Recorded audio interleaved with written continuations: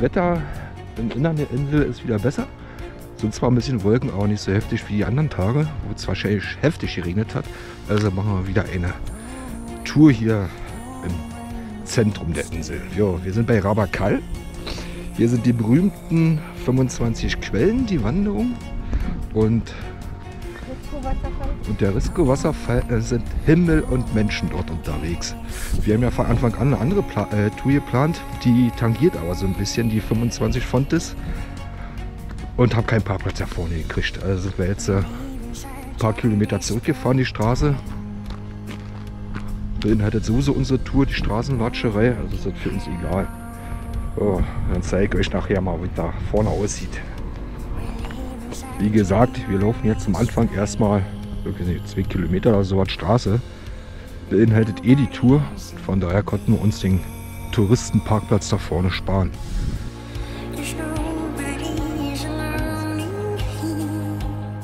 der erste Teil des Parkplatzes. Hier sind wir damals vor vier Jahren gestartet, wo wir die 25 Quellen gemacht haben. Da standen ja sechs Autos. Ich muss dazu sagen, es war Oktober und es war auch regnerisch ein bisschen. So, das zieht sich bis da um den ganzen Berg rum. Da stehen so überall. Absolut aber den Wanderabschnitt erreicht. Alles voll hier mit Menschen. Und wir hoffen nur, dass unsere Tour äh, nicht so belaufen ist, sondern dass die alle die 25 Quellen machen, die hier sind.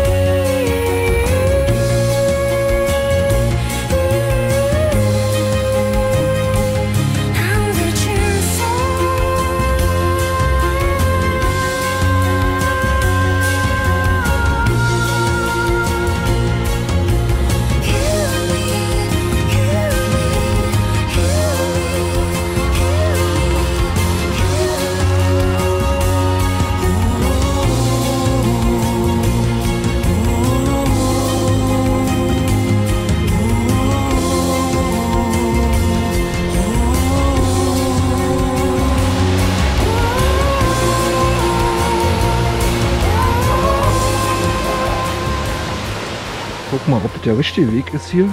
Berghoch am Wasserfall vorbei. Jedenfalls sind ja definitiv zu viele Menschen unten am Wasser. So, jetzt gucken wir von oben auf den Wasserfall mit Badebassin. So, ab jetzt dürfen wir wohl mehr oder weniger alleine bleiben auf dem Weg.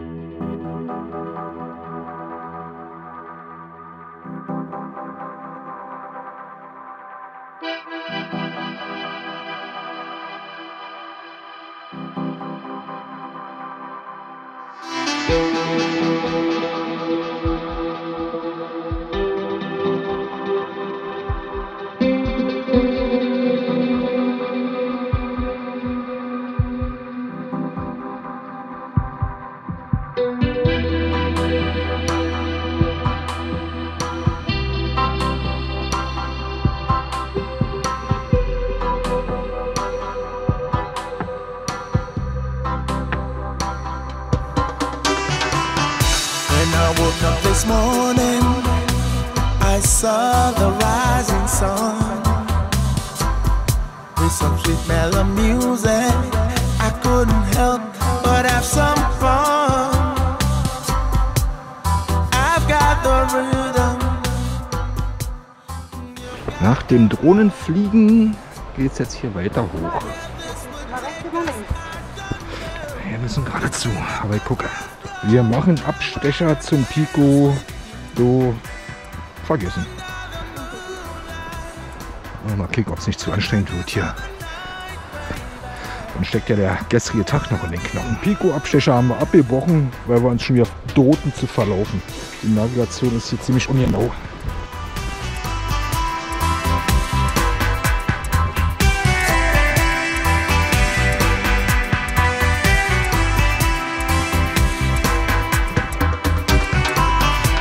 Such a wonderful feeling. Something you must believe in. Cause this music's got a rush now.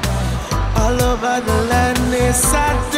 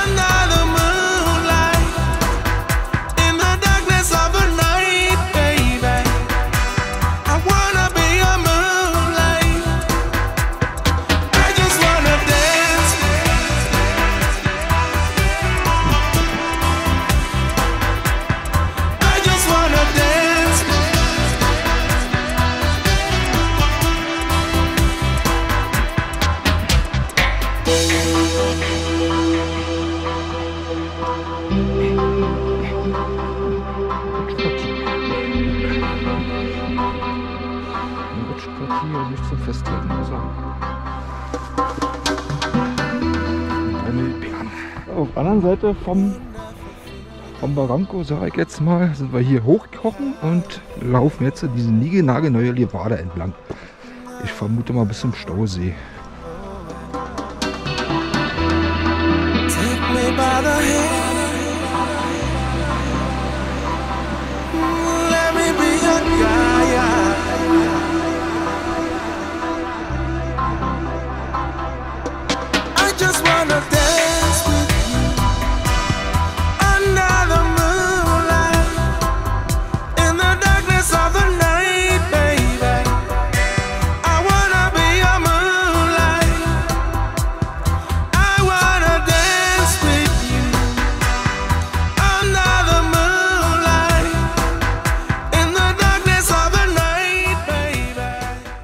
Stausee voraus.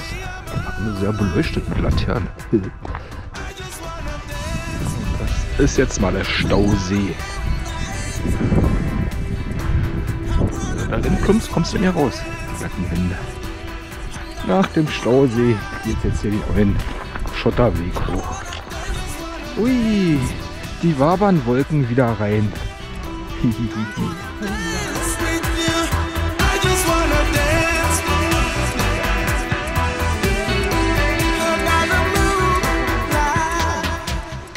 Es geht jetzt noch mal kurz vor Ende einen kleinen Abstecher zu einem Tümpel runter.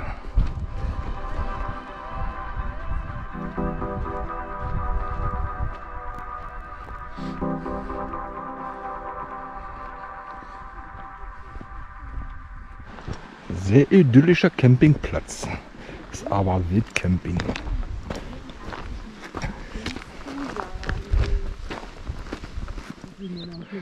Zurück am Automobil.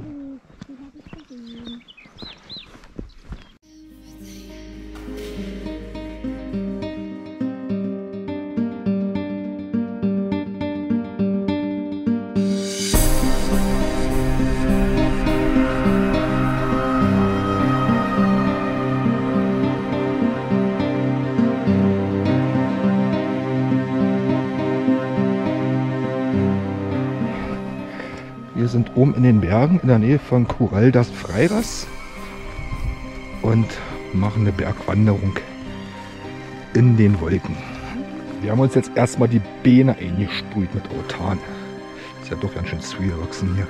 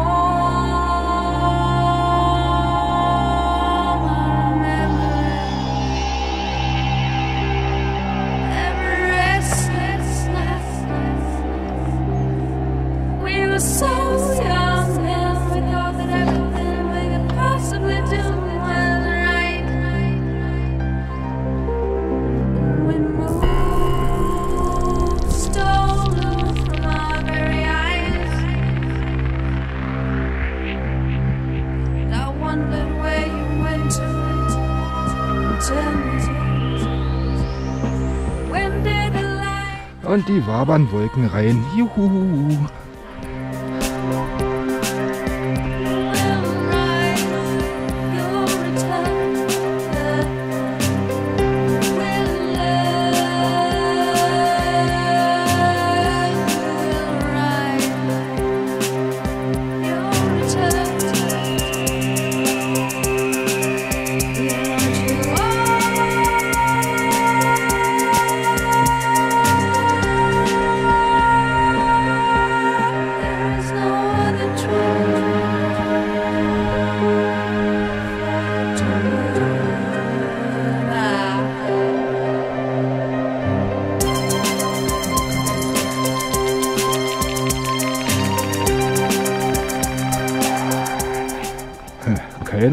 Jetzt hier rauskommen.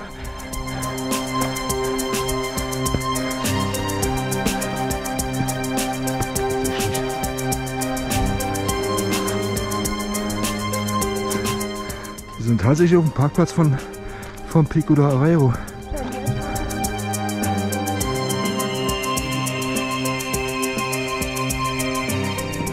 So, wie man gesehen hat, sind wir wieder warten doch am Arreiro gelandet.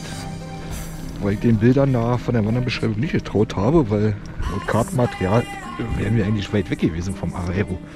So, wir verlassen ihn und gehen jetzt da drüben in den Abstecher zu Mirador, auch wenn es keinen Sinn macht bei den Wolken.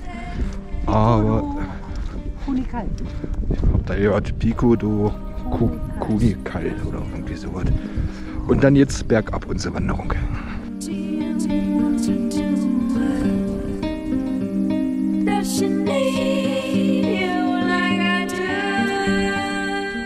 Es folgt eine zweite kleine Radarkuppel. Nach der großen Radarkuppel und den zwei kleinen ein Abstecher darüber zu dem Miradoro. Being what you are.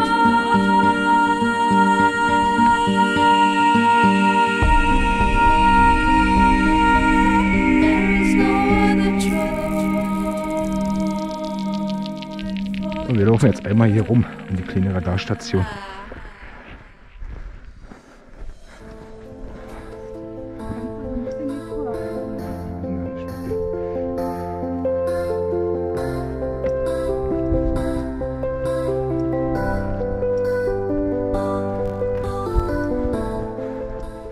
Das ist jetzt die kleine Königshut, die wir gemacht haben.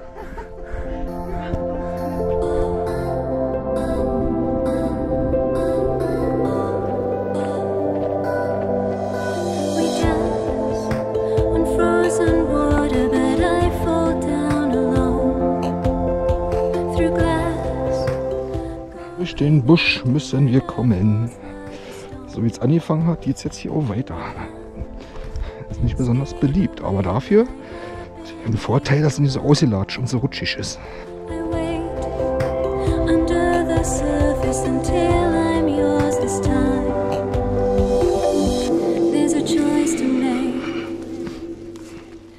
Choose my fate.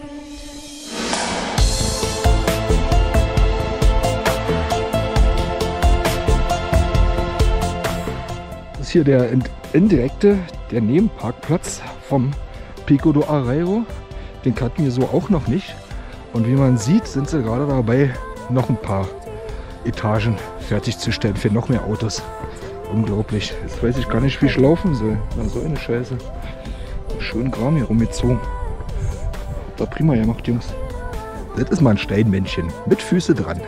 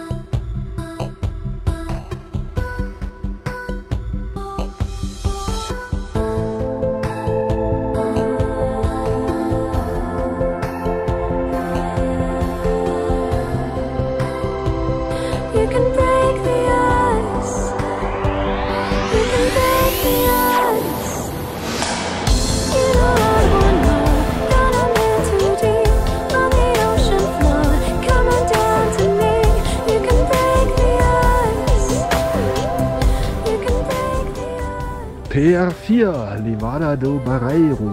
Das soll ein sogenanntes Schneehaus sein. Nun wird es nicht so sein, dass es eine Schutzhütte vor Schnee ist, sondern wie wir es auf Mallorca mal kennengelernt haben, dass sie hier Schnee eingelagert haben für über den Sommer.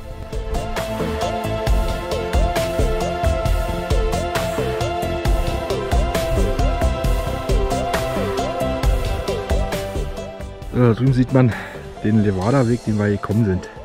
An dem Geröllhofen vorbei ist alles noch die Levada do Negra.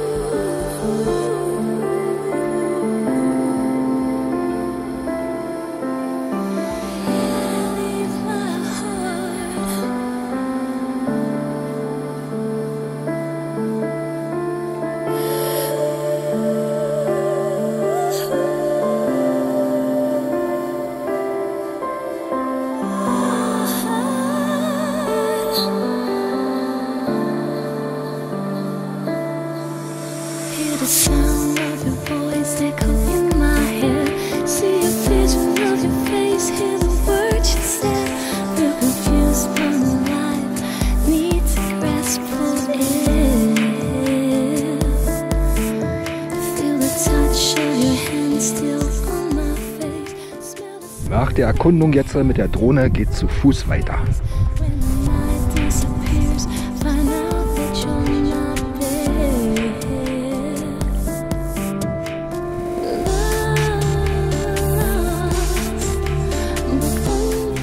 So, das ist unsere, unser Achterknoten. Also der Mittelpunkt von der Acht des Wanderweges. Hier sind wir vorhin hochgelaufen, laufen jetzt auch wieder runter, da bis in die Schlucht. Und dann geht es aber irgendwie den Berg hoch, anstatt die Levada runter.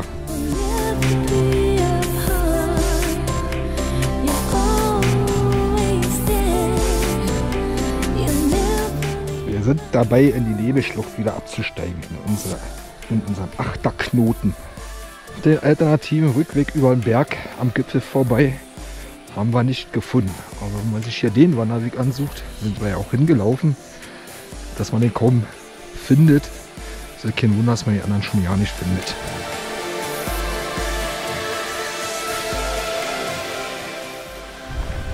Sind wieder im Auto. Ja, der alternative Weg wäre den da rumgegangen und hier irgendwie wieder runter und direkt hier auf die Straße gekommen. Aber auch von hier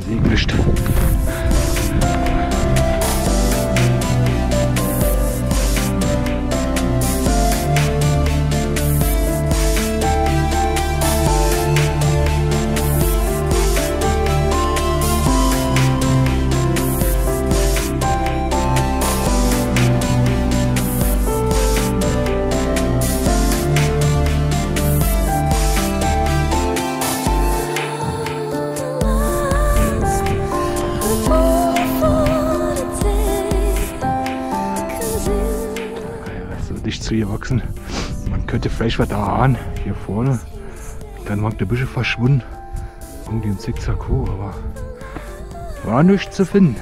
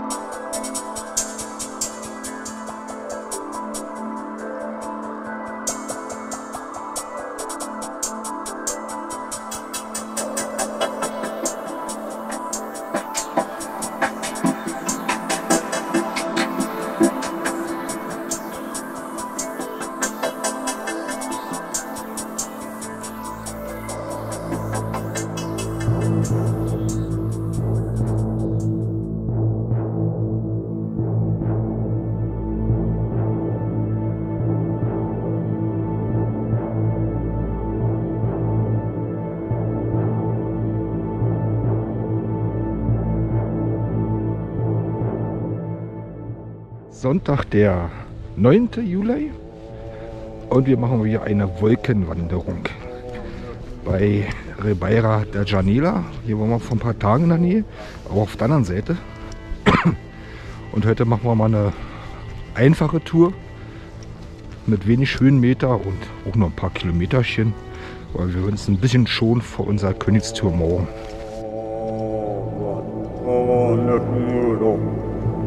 двадцати лишь улыбнулся.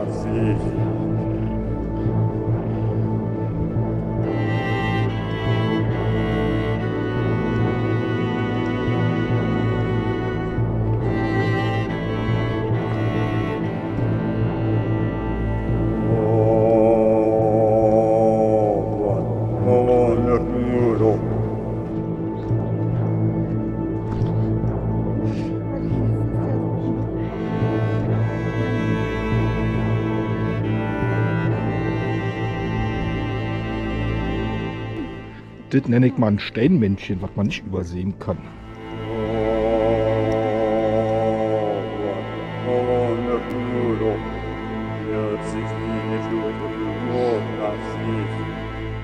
Also die Wanderregion ist ja gut überlaufen. Das hatten wir ja letztens schon gesehen, wo wir unten die Levada gelaufen sind und dann die Stufen hoch durch den Wald in PA13 er endete ja hier. Also wir an den Parkplatz vorbeigekommen, Picknickplatz. Da hab ich übrigens eben 10 Euro gefunden.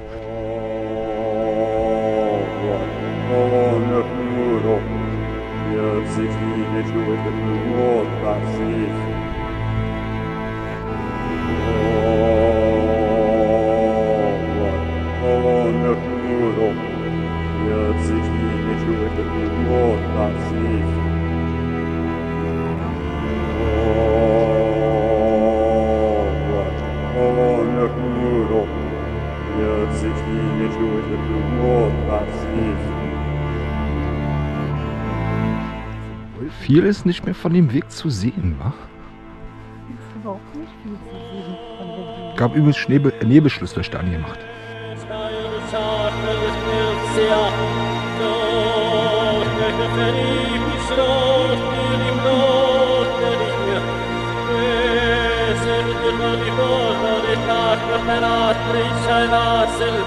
Nai vat,